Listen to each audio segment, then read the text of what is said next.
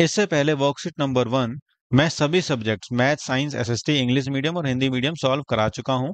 आज हम करने वाले हैं वर्कशीट नंबर दो सब्जेक्ट है मैथ्स क्लास नाइन्थ के लिए। अगर आपने नहीं देखा है, नहीं समझ में आया है और सिर्फ़ चीटिंग कर ली है, उतार लिया है तो आप उनको जाके पहले समझ लें, क्योंकि अभी तो नई नई है तो आपको समझ में आ रहा है, लेकिन जब चार पाँच वर्कशीट हो जाएँगी, फिर आपको आगे की चीज़ें समझ में नहीं आएँगी। हमें कुछ इंफॉर्मेशन दी जाती है।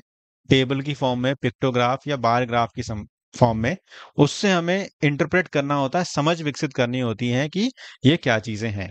जैसे ये जो इन्फॉर्मेशन आपके दी गई है, ये बताया गया है कि रेफ्रिजरेटर टेलीविज़न वॉशिंग मशीन और ये सारे अप्लायंसेस कितनी एनर्जी कंज्यूम करते हैं एक यूनिट एक यूनिट मतलब किलोवाट आवर में। जैसे रेफ्रिजरेटर कंज्यूम करता है एक हज़ार एक हज़ार ये है और पंद्रह सौ ये है तो आप बताओ, खुद ही सोचो, ये ग्यारह सौ होगा, ये बारह सौ होगा, ये तेरह सौ होगा, ये चौदह सौ होगा। तो यहाँ जो है, ये जो लाइन आ रही है ना, ये बारह सौ पे आ रही है। ठीक, ऐसे ही आप इसको देखोगे तो आपको पता लगेगा कि ये तीन सौ पे आ रही है। ये आ रही है आपकी नौ सौ पे। तो ऐसे ही आपको इंटरप्रेट इसे हम कहते हैं इंटरप्रेट करना। तो पहले हम समझेंगे, उसके बाद सॉल्व करेंगे। सो so, रिया ने ये ग्राफ बनाया है अपने घर में जो अप्लायंसेज हैं उनके बेस पे कि कितनी इलेक्ट्रिसिटी वो कंज्यूम कर रहे हैं एक घंटे में। ठीक ऐसे ही नीचे भी एक ग्राफ आपको दिख रहा है जिसमें माइक्रोवेव और टेलीविज़न का ऊपर और नीचे दोनों को मिक्स करके बनाया हुआ है। जैसे माइक्रोवेव यहाँ पे देखेंगे ना तो हंड्रेड और ये टू टू हंड्रेड है। टू हंड्रेड किलोवाट आवर्स है। और टेलीविज़न का देखेंगे तो ये थ्री हंड्रेड किलोवाट आवर है। तो इन्होंने इस एक डॉट को हंड्रेड किलोवाट आवर के नाम से कर रखा है। तो ये टू हंड्रेड हो गया और ये थ्री हंड्रेड हो गया। ये डिफरेंट तरीके से डेटा को रिप्रेजेंट करने के लिए शो किया गया है। अब सवालों को करते हैं, तभी हमें समझ में आएगा फाइनली कि हम इसको अप्लाई कैसे करें। तो पहला सवाल है what is the annual electricity consumption of washing machine washing machine कितना इलेक्ट्रिसिटी कंजम्पशन कर रही है एनुअली तो वॉशिंग मशीन मैंने यहाँ पे मार्क किया था कि 900 है। 500 यहाँ हो गया, छह सौ, सात सौ, आठ सौ, नौ सौ।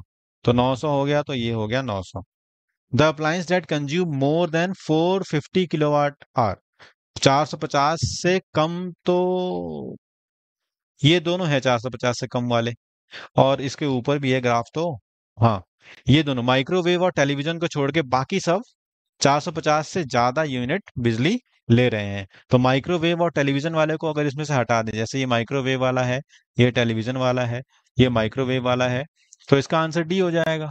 आप समझ गए ना कैसे मैंने हटाया? माइक्रोवेव टेलीविज़न चार सौ पचास से कम वाले हैं, उनको हटा दिया तो बाकी सारे चार सौ पचास से ऊपर वाले हैं। तो energy consumption in one kilowatt represented by this तो इसका मतलब क्या था? मैंने बताया था आपको ना कि ये जो डॉट है, ये आपको बता रहा है कि एनर्जी कंजम्पशन कितना हुआ है इस ग्राफ के अकॉर्डिंग तो यहाँ पर एक डॉट का पूछा गया है तो एक डॉट का मतलब क्या होगा? एक डॉट का मतलब हंड्रेड है।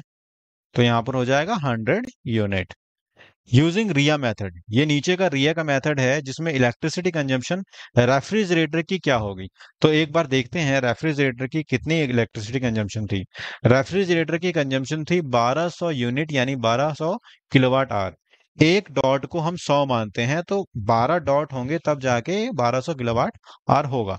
तो अब एक बार गिन लेते हैं 12 कहाँ तक हो रहा है? एक, दो, तीन, चार, पाँच छ सात, आठ, नौ, दस।